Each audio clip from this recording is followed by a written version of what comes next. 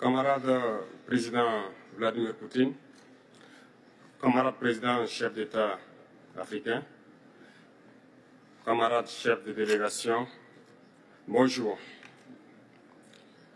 C'est un honneur pour moi ce matin donc de prendre la parole ici et de vous passer donc le salut fraternel du peuple du pays des hommes intègres. C'est aussi le lieu pour moi, avant tout propos, de rendre grâce à Dieu, Dieu Tout-Puissant qui nous a permis de nous réunir ici ce matin en bonne santé pour parler de l'avenir et du bien-être donc de nos peuples. Je m'en vais m'excuser auprès de, des anciens que je pourrais vexer dans mes propos à venir. Africanité oblige, les droits d'aînesse, je me dois de m'excuser. Camarades, j'ai quelques questions donc de ma génération, mille et une questions qu'on se pose. Mais nous n'avons pas de réponse.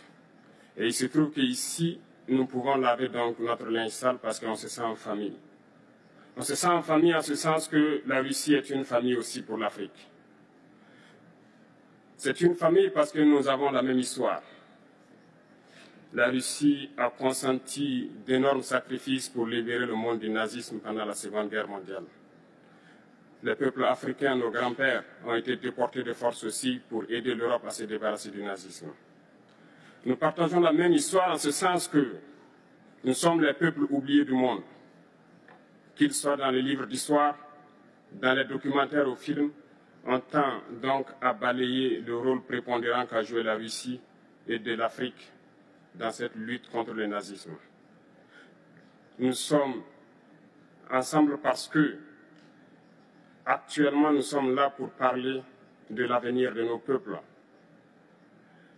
de ce qui va advenir demain, de ce monde libre auquel nous aspirons, de ce monde sans ingérence dans nos affaires internes nous avons les mêmes perspectives et je souhaite que ce sommet soit l'occasion donc de pouvoir tisser de très bonnes relations en vue d'un meilleur avenir de nos peuples. Les questions que mes générations se posent sont les suivantes, si je peux me résumer.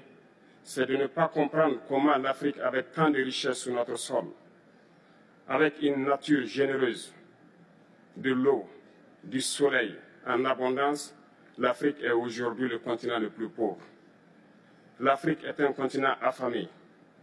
Et comment se fait-il que les chefs d'État traversent donc le monde à mendier Voici des questions que nous nous posons et que nous n'avons pas de réponse jusque-là. Nous avons l'occasion de tisser de nouvelles relations. Et j'espère que ces relations puissent être les meilleures pour donner un meilleur avenir à nos peuples. Ma génération me charge aussi de dire que, par ce fait de pauvreté, ils sont obligés de traverser l'océan pour essayer de rallier l'Europe. Ils meurent dans l'océan. Mais que prochainement, ils n'iront pas traverser parce qu'ils viendront devant nos palais pour chercher leur pitance quotidienne. Pour ce qui concerne le Burkina Faso, aujourd'hui nous sommes confrontés depuis plus de huit ans à la forme de manifestation la plus barbare, la plus violente du néocolonialisme, de l'impérialisme l'esclavage qu'on tend encore à nous imposer. Nos dévanciers nous ont bien appris une chose. L'esclave qui n'est pas capable d'assumer sa révolte ne mérite pas que l'on s'apitoie sur son sort. Nous ne nous apitoyons pas sur nos sorts, on ne demande pas que quelqu'un s'apitoie sur notre sort.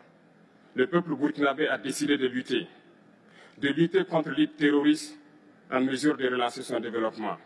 Dans cette lutte, des vaillants peuples, des vaillantes populations se sont engagés à prendre les armes face au terrorisme, ceux que nous avons affectueusement appelés les VDP, des volontaires. Nous sommes surpris de voir les impérialistes traiter ces VDP de milices et de tout type. C'est décevant, parce qu'en Europe, lorsque des peuples prennent les armes pour défendre leur patrie, on les traite de patriotes. Nos grands-pères ont été déportés pour sauver l'Europe ce n'était pas avec leur consentement, contre leur gré. Et bien au retour, on se rappelle bien qu'à Tiaroy, lorsqu'ils ont voulu revendiquer leurs droits élémentaires, ils ont été massacrés. Cela ne fait rien donc. Lorsque nous, peuple, nous décidons de nous défendre, on nous traite de milices. Mais là n'est pas le problème. Ce qui est le problème, c'est de voir des chefs d'État africains qui n'apportent rien à ces peuples qui se battent, mais qui chantent la même chose que les impérialistes en nous traitant de milices, en nous traitant donc d'hommes qui ne respectent pas les droits de l'homme. De quels droits de l'homme parle-t-on? Nous nous offusquons contre cela et c'est honteux. Il faut que nous, chefs d'État africains, nous arrêtons de nous comporter donc en marionnettes qui dansent à chaque fois que les impérialistes tirent sur les ficelles. Hier, le président Vladimir Poutine a annoncé l'envoi des céréales en Afrique. Nous sommes bien contents. Nous lui disons merci pour cela. Mais aussi, c'est un message passé à nous, chefs d'État africains, parce qu'au prochain forum, nous ne devrons pas venir ici sans avoir assuré, pour ceux qui ne connaissent pas la guerre, l'autosuffisance alimentaire de nos peuples. Nous devons prendre l'expérience de ceux qui ont pu déjà atteindre cela en Afrique, tisser de bonnes relations ici et tisser de meilleures relations avec la Fédération de Russie pour pouvoir assouvir les besoins de nos populations. Je ne serai pas peut-être long, le temps est imparti est très court. Nous sommes obligés de nous arrêter à un moment donné. Mais je voudrais terminer en disant que nous devons donc rendre hommage à nos peuples, à nos peuples qui se battent. Gloire à nos peuples, dignité à nos peuples, victoire à nos peuples. La patrie ou la mort, nous vaincrons.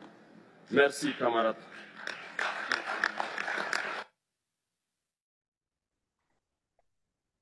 Indi bumwe uyu munsi turi tariki makumyabiri n'icyenda z'ukwezi kwa karindwi umwaka ni bibiri na makumyabiri na gatatu. Tukaba twinjiye muri studio za radiyo ubumwe tugiye kureba ku ngingo zigera nko kuri eshatu aho tugiye kureba mu nama irimo guhuza abaperezida b'abanyafurika n'igihugu cy'uburusiya aho tugiye gusesengura ku ijambo rya kapiteni ibrahim traore akaba ari perezida wa w'igihugu cya burkina faso aho turi bigaragara ko rwose umuntu witwa thomas sankara yongeye kuzukira muri ibrahim traore aho rwose yavuze ijambo rikomeye imbere ya putine aho mu bwa mbere rwose nkeka ko putine yagaragaye yishimye anishimiye ijambo ryari rivuzwe n'uyu mwana w'umusore kapiteni ibrahim traore yavuze ijambo rwose putine amuha amashyi menshi cyane aranamwenyura araseka. Bigaragaza ibyishimo n'uburyo yari afashemo rwose. Ijambo rikomeye rimeze neza nk'irya sankara ari byo turi buze kugarukaho rwose mu kanya. Turi buze kureba ku bijyanye n'ibijyanye n'umutekano mu karere ariko tubanza dusimbukire ikinshasa turebe uko umuhango wo gutangiza ibirori bya francophonie byagenze twongera no tunagaruka no ku mpamvu delegasiyo y'u rwanda. Baba ari abakinnyi baba ari amakipe yagombaga kujya mu marushanwa ya hariya wongewe na mushiki wabo impamvu batagiye hariya ese ibyo na byo mu buryo bwa politiki bishatse kuvuga iki? Cyane cyane ko tubizi ko burya siporo ntabwo ari siporo gusa buriya hazamo na diporomasi yo mu rwego rwo hejuru. Turagaruka turebe nanone uko ibintu bihagaze hano mu gihugu imbere. Ese bimeze gute? Abanyarwanda bimeze gute? Ibibazo bya karasira imabure bimeze gute? Ibi ikibazo cya bana bakomeje kugenda baburirwa irengero harimo abana ba bicahaga baburiwe irengero ubwo bamaze rwose iminsi igera ku icumi barabuye irengero. Tukaba tubizi neza ko bashimuswe na rib mu rwego rwo kugira ngo bagumye cyangwa bashaka bashaka gucecekesha papa wabo.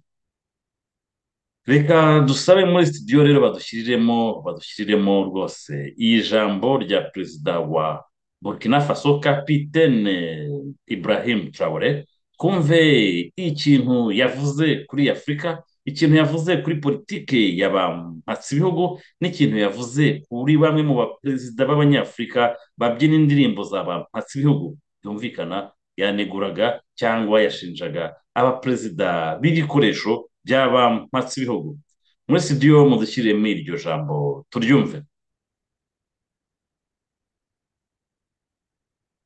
Murakoze cyane. Murakoze muri studio kudushyiramo iryo jambo. Nk'uko mwabyumvishije rero perezida wa burkina faso ibrahim traore agifata ijambo rwose yafashe ijambo ashimira imana kuba yashoboye kubateranya hamwe n'umuperezida wa rusiya ari we putine yabanza ashimira imana arazamuka. Ubwo yavuze ati rwose tugushimire ni byo mwatwemera imfashanyo y'ingano ariko aribaza ati bishoboka gute ko afurika ifite ubutaka bwiza ifite amashyamba ifite izuba ryiza imvura nziza aho dufite ibirimo bibiri nta kibazo dufite twicwa n'inzara? Avuga ati ibintu tugomba kubisubiramo nk'abaperezida. Aho kugira ngo tujye tuzamuka tuza guhurira hano tuje gusabiriza i burayi dusabiriza imfashanyo. Twakagombye gutekereza ko twakagombye gutangira gudeveropa cyangwa kuzamura ubuhinzi iwacu wo kugira ngo tujye tuza guterana tuje gusaba ibiribwa. Ati ibi byose ni ubunebwe cyangwa sisiteme twubatswemo n'abampatsi bihugu yageze ku bijyanye n'umutekano murabizi neza ko igihugu cya burkina faso na cyo kiri muri bya bihugu birwanya bya byihebe bya ICC aho nk'uko mubizi yaba burkina faso yaba nigeri yaba ni kiriya gihugu cya mari bariya bose begeranye n'ubutayu bwa sahara bakaba barwana n'ikibazo cya biriya byihebe. Ariko biza kugaragara ko ibyo byihebe biterwa inkunga na bimwe mu bihugu bya bampatse ibihugu cyane cyane abafaransa ari na yo ntandaro y'uko murimo kubona ko ubwo uriya koroneri wo muri mari yaje kwisobanurira ko biriya byihebe byose bihabwa ubufasha n'abafaransa kugira ngo intambara zigumemo noneho abafaransa baze bakina nk'aho barimo gufasha biriya bihugu mu byo muri francophonie. Noneho babona uko basa nk'aho rwose babigarura babahuza muri izo ntambara zidashira na byo byanatumye uriya mukoroneri wo muri mari afata ubutegetsi kugira ngo ashobore kurwana n'ibyo bintu ntabwo byatinze rero na kapiteni ibrahim traore niko yabigenjeje amaze gufata ubutegetsi akaba yarahise asaba abaturage abasore n'inkumi kuba abavoronteri bakinjira mu gisirikare noneho bakajya gufata imbunda bakajya kurwanya ibyo byihebe ariko icyaje kugaragara abanyaburayi batangiye kuvuga ngo ni abamirisi ngo ni abarebozi arimo guforoma ahangaha naho yahageze aravuga ati aba imperialiste iwabo iyo abaturage bafashe imbunda bakarwanira igihugu babita abapatiriyote ariko iwacu twafata imbunda kugira ngo turwanirire igihugu iterabwoba. Bakavuga ngo ni abamirisi bikwereka ko mu by'ukuri biriya bihugu bya bihugu izi reberiyo zose mubona nibo baba bazifinansa. Akaba rwose yavuze ati twebwe twahisemo kuzarwanirira igihugu cyacu tutitaye kuri abo ba imperialiste cyane cyane ko yaje no kuvuga kuri bamwe mu baperezida b'abanyagitugu b'abanyafurika bari babyina ngo indirimbo y'aba imperialiste ni ukuvuga ngo igihe igihugu nka burkina faso kivuze giti abana b'igihugu nibahaguruke mwese murwanirire igihugu. Mu gihe abanyaburayi bavuze ngo arimo guforoma cyangwa gutureyininga abamirise harimo bamwe mu baperezida b'abanyafurika nabo batangira kujya kubyina indirimbo y'abampatsi ibihugu byumvikana ko imbere ya putine uriya kapiteni iburahimu traore yabwiye putine ati bamwe mu baperezida b'abanyafurika ni abaperezida. Babyina indirimbo za bano banyaburayi mu gusenya no gukenesha afurika yacu. Iki ni ikintu gikomeye cyane yahavugiye. Aho yageze akavuga ati afurika irakize ifite byose ariko ikibazo dufite dufite bamwe mu baperezida bakorera abampatsi b'ibihugu bagafasha abampatsi b'ibihugu gukenesha abanyafurika. Abanyafurika birirwa mu nyanja bashaka kwambuka bajya i burayi dukoze neza ntabwo bakagombye kwambuka ziriya nyanja ahubwo bakagombye kuba baza kuri perezidansi kutubaza ubufasha kubera yuko twaba dukora neza kandi dutera imbere. Abanyafurika tutagize nk'umuperezida b'abagambanyi bakorera bari bakorera abampatsi ibihugu twakagombye kugira afurika ikize ifite byose yigenga kuri byose kubera ko byose twarabihawe. Aha hantu rero ni ho byaje kugaragara ko umuntu bita Putine rwose yumvishije ijambo ry'uyu mujene kapiteni Ibrahim Traore aho akavuga ati uyu muhungu ni Sankara ni Thomas Sankara nawe wongeye kuvuka ni ubwa mbere naba nabonye umuntu bita Putine akoma mu mashyi kandi aseka. Bigaragara ko yari yishimiye agahungu ke. Reka nkite gutyo. Ibi bintu nkaba naje kubona ko ari ibintu bikomeye cyane aho natangiye kwibaza nti ese abafaransa na kagame biraza kugenda gute?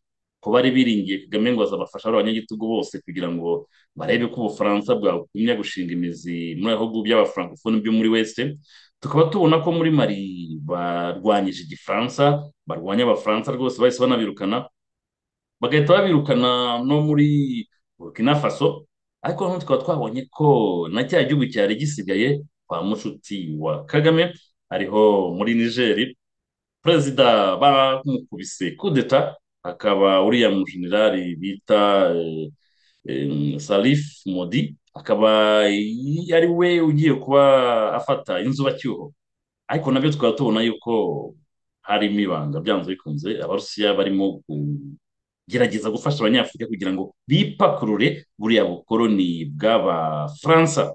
Nk'uko umuntu bita Ibrahim Traore perezida kapitene Ibrahim Traore perezida wa Burkina Faso urimo kwasira interumu yabivuze.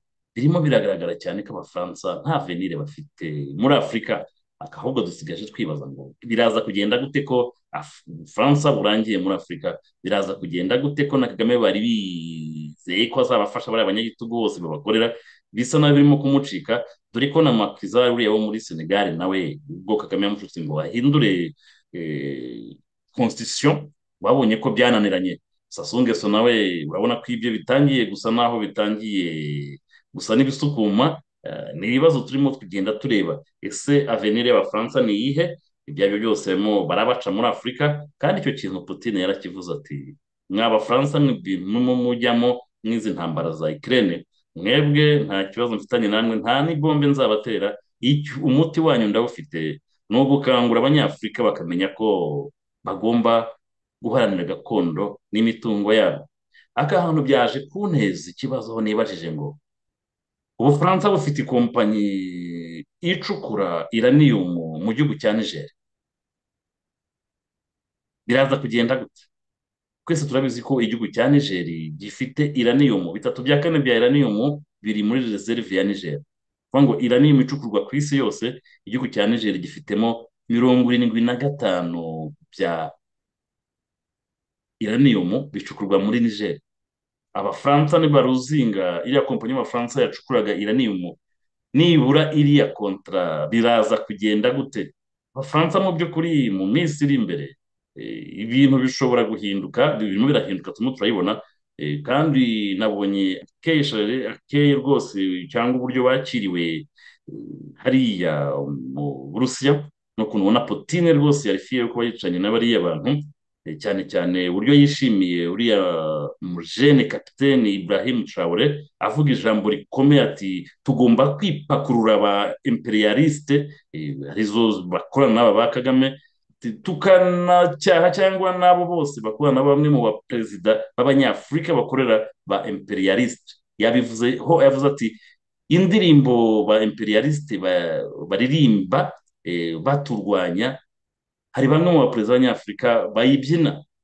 Abo yise ngo ni abamaronete abo ngabo turabazi bakorera abamasi b'ibihugu nk'abo ba kagame bajya guteza ibibazo muri za kongo hariya hose mu nyungu z'abamasi b'ibihugu ubundi afurika yacu ikagenda irushaho kugenda ikena no kugira ibibazo bikomeye cyane. Ahantu rero ni ikintu gikomeye cyane twabonye ko umuntu bita putine yishimiye ijambo rikomeye cyane rimeze nka rimwe kapitene Thomas Sankara yavugiye mu nama ya African Union ya Addis Abeba aho yavuze ibintu bikomeye akagira n'avuga ati ibyo bihugu byaduhaye amadeni ari na byo byanadukoronije. Ntabwo tugomba kuyishyura kubera ko baduhaye amadeni mu byo batwibye. Yaje kuba yabizira. Uyu mujene kapitene Ibrahim Traore nawe yavuze ijambo rero rikomeye kandi rizandikwa mu mateka kuko yavuze ibintu bikomeye birimo guca amarenga ko igihugu cy'ubufaransa muri biriya bihugu byo muri west mu by'ukuri kirimo kigiye kwirukanwa tuba tunibaza makoro wagiye inyuma ya kagame uburyo ubufaransa bushobora kuzaruzinga cyangwa kuzahura na kongo kuko na kongo na yo yacanye ku maso urimo urabona ko igihugu cy'abafaransa ntabwo turimo kubona avenire yacyo muri afurika bizagenda gute ko ekonomi y'abafaransa yose ishingiye ku byo biba muri afurika ariko ukabona ko ibihugu bitangiye kwipakurura ubufaransa buno bukoloni babashyizeho cyane cyane ko bakiburiho rwose kubera yuko ubona ko bagikoresha n'amafaranga abakontorore cyangwa jere ipari ibi byose akaba ari byo twabonye ko uyu mujene Ibrahim Traore kapitene ijambo yavuze nirikomezamo. Impinduka turaza kuzibona mu maleta menshi cyane yo muri afurika aba banyagitugu bihaye gukorera abampatsi ibihugu no gukenesha abaturage aho yavuze ati birababaje kubona abaperezida ba afurika bambuka inyanja baje gusaba baje gusaba ingano. Mu gihe afurika ifite ifite ubutaka bwiza ifite imvura ifite izuba ryiza ifite amashyamba meza ati twebwe tukambwa tuza gusaba. Mu gihe twebwe dufite byose. Aha ngaha yavuze ibintu bikomeye cyane bizatuma urubyiruko rushobora kurushaho gutekereza cyane aha ngaha niba urimo kubona ko abanyagitugu rero bashobora kuba batangiye kugenda bagira ubwoba. Mwarabibonye ejo bundi aho ubwo bakoraga kudeta uriya perezida wa nigeri mwabonye ko kagame nawe yahise atumiza inama yihutirwa cyane y'abasirikare noneho agahamagaramo na ba bandi bose yashyize ku gatebe. Mwaho mwabonyemo ba nyamvumba mukabonamo ba bano bose yahagaritse ejo bundi barimo ba dani munyuza barimo bariya ba kazura ndetse hakabamo n'uriya murasira ibi byose ariko bikaba ari ubwoba nkeka ko ari ubwoba afite akaba ashaka ifoto yo kugurisha mu banyarwanda kugira ngo abereke ko rdf rwose arimo kuyikontorora kandi iri hamwe. Kuko abantu benshi baricaye bari ku gatebe turabizi ariko kubazanamo hariya ngo baje mu nama ya rdf n'izindi nzego z'umutekano mu gihe tuzi ko bafungiye iwabo mu bikari aho twakwibaza ngo ni iki cyamutera ibintu? Ese n'ubwoba yaba yagize amaze kumva ko mushuti we muri nigeri bamukoreye kudeta cyane cyane ko mwumvishije ko no muri mozambique ingabo ziriyo zitangiye kugirana ibibazo n'ingabo za mozambique ndetse no muri centre afurika ingabo za zitangiye kugirana ibibazo n'abaturage ikabishyira wigina ngo niba bateranye n'abaturage ndetse tukaba tubonaho noneho ko no muri congo brazzaville abadepite batangiye kuzamura ijwi babaza uburyo sasungeso yagurishije ubutaka bw'igihugu akarenga kuri konstitusiyo akabugurisha kagame. Aho bariya abaturage ba congo brazzaville batangiye kuvuga bati bizaba ari ishyano kubona sasungeso agurisha kagame kugira ngo azagire ubwo butaka icyo twakwita base militeri kugira ngo azatere ikinshasa anyuriye muri congo brazzaville. Bakaba banagiye kureba bakavuga ko kigali yashingiye umuntu bita sasungeso kubera ko sasungeso bamucometseho umuntu witwa ngo ni umujyanama mu bya peteroli ingufu na peteroli ari we francoise jolie mukamwana mubonye mu minsi ishize ubwo bimikaga perezida wa turikiya akaba yari yasohokanye rwose na sasungeso yamwicaye iruhande nk'umugore we hakagombye kuba hicaye umugore we hakaba hari hicaye sasungeso ibi bintu tukaba tubona ko bishobora kuba byara nawe yarafashwe mu buryo buriya tuwadera perezida wa centre afurika nawe yafashwemo kugeza ubwo tumufitemo umwuzukuru. Ibi byose bikwereka ko mu by'ukuri ya politike ya kagame yo gufatisha bamwe mu bayobozi bakomeye inkumi z'abanyarwanda burya bombe kirimbuzi kagame yibitseho ni inkumi agenda acomeka mu bamwe mu bayobozi cyangwa abayobozi b'ibihugu baba n'abayobozi b'imiryango ikomeye agenda acomekamo kugira ngo bazamufashe gukora amarobingi yose. Ariko ibi byose tukaba bibona ko birimo kugenda bisenyuka. Tugende twambuke tujye i Kinshasa. Kinshasa ni ijoro ryari rishize rwose. Habaye ibirori bikomeye cyane aho batangije bafunguye ku mugaragaro ibirori aho bari bari muri stade maritime hariya i Kinshasa.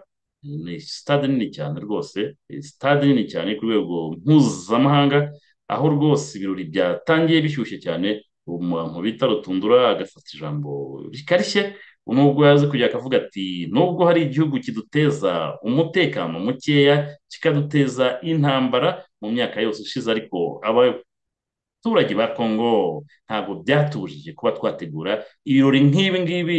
Ati kandi twongere dushimire mwe mwese mwohereje delegasiyo zanyu.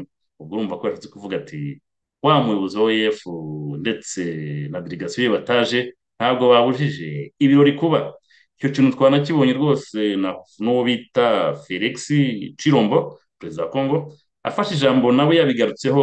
Ati hari igihugu gituranyi cyatutejeho intambara ariko ibyo byose tuzabirangiza. Nubwo gikomeje cyakomeje kudusahura kigitwara umutungo wa kongo mu bihe birebire cyane ariko ibi byose ntabwo byatuje gutegura ibi birori. Mu by'ukuri abavuzwe bariyumva abataje mu birori nta wundi ni uyoboye oef akaba ari mushiki wabo. Mushiki wabo yatinye kuza ikinshasa ese ni ibiki abantu bakaba bagiye kureba ikibazo cya mushiki wabo kiri komplekisi kubera ko muzi yuko kuva batangira gutera kongo ahanini murabizi ko mushiki wabo yari minisitiri w'ububanyi n'amahanga yakomeje kuba yivuruguta muri ibibazo bya kongo bagumye babeshya badinayinga ko batariyo batari babikora. Iyi myaka yose bateje impfu n'imirwano muri congo yari minisitiri w'ububanyi n'amahanga. Ava hariya ajya muri frankfoni akaba nabwo yakomeje kwitwara nabi cyane aho ubwo bari bari muri tunisiya muri frankfoni mu nama ya frankfoni hari ibintu bitavuzweho rumwe n'amagambo ya mushiki wabo louise. Ariko bikaba noneho hari ikintu abantu bakomeje kutitaho. Muribuka mu minsi ya mwaka ushize ko hari ibaruwa yavuye mu bufaransa ivuye mu muryango uvuga igifaransa iyo letere iyo barwa ikaba yari ifitemo uburozi bwa siyanike ikaba yarafunguwe ikinshasa bikagira ingaruka ku musekiriteri wayifunguye ariko ikaba yari igenewe umuntu bita felix mu by'ukuri yaza kuyifungura. Niba yagombaga guhitana abatekerezaga ko umuntu bita mushiki wabo bizi kutajya ikinshasa ngo atari uko batamutumiye ntaho yagombaga kujya kubera yuko muri diru yo gushaka kwicisha umuntu bita felix cirombo bamwicishije uburozi bwa siyanike uriya mugore yari arimo. Icyo kintu cyatumye ataboneka ikinshasa ari na yo mpamvu mwabonye ko na delegasiyo y'u rwanda ntaho yagiye. Kwa kundi bavuga ngo umurozi yirukanka ntawe mwirukanseho ibi byose rero niyo mpamvu abakongomani bonaga bavuga bati azitwaza ibindi imvitasiyo ntabwo ari izatuma ataza kubera yuko ni we utegura ibirori ni nawe utumira abantu nta mpamvu n'imwe kutazi ubwo hazaba ari izindi mpamvu. Ariko abakongomani babaye imfura baratundura ntabwo bashatse kuzana icyo kibazo. Cy'irya baruwa yari ivuye muri frankfoni ubwo abayoboreje murabumva yari irimo uburozi bwa siyanike bwari bugenewe kwica felix cirombo ibi byose bikaba ari byo abanyarwanda bagomba kuzagenda bamenya ibikorwa bya mushiki wabo ni byo byatumye nawe ubwe yisobanura ko kujya hariya bitazamukundira kubera ko ibyo yakoze arabizi. Ukaba tuvuga rero ko ari byo tuba tuvuga ngo za politike z'ubushwanyi n'amahanga ni ikibazo gikomeye cyane kandi bizagenda bigira ingaruka.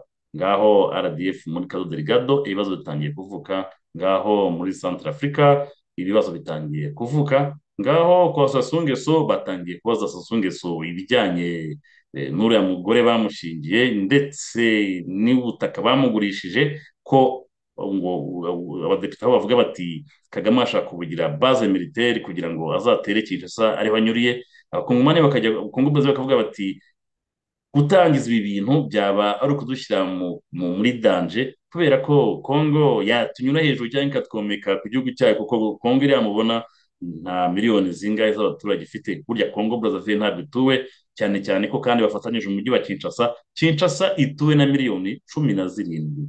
Mu by'ukuri urumva ko byaba ari ishyano.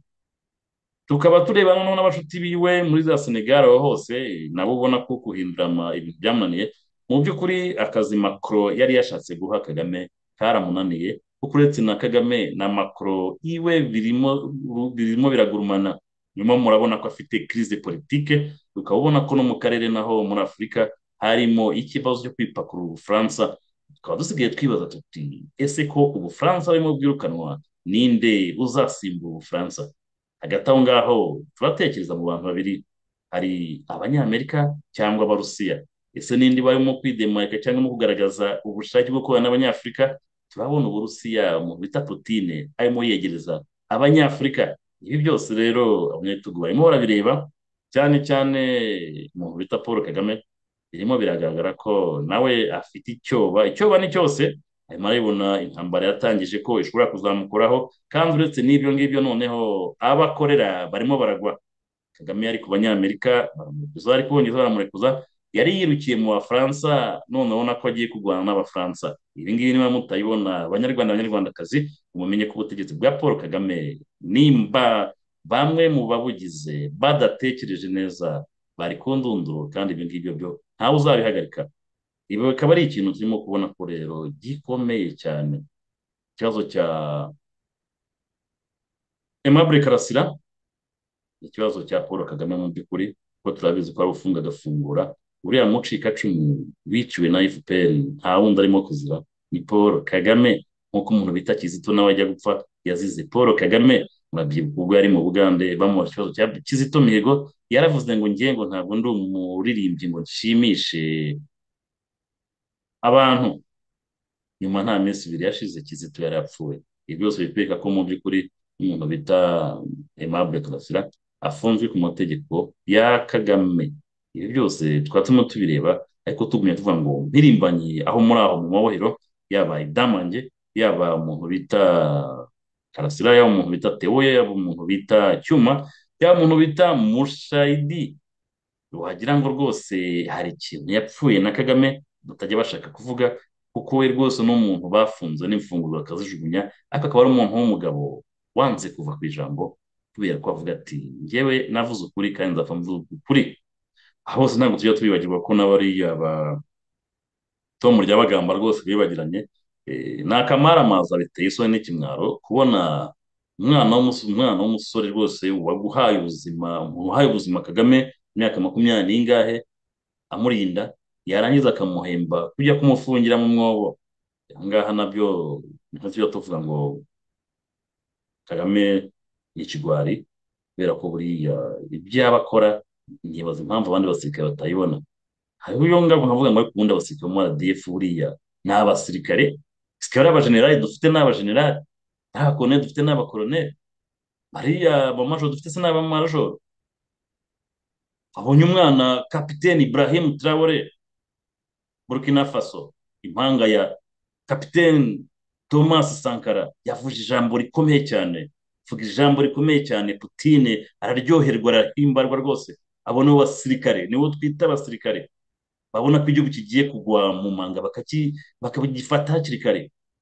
Ako twebwe dufite abantu rwose bafunga bagafungura nk'imiryango bafunga bagafungura nk'amadirishya bo bamwe baba bafungiye hariya ariko bajya gufata ifoto bakamuzana.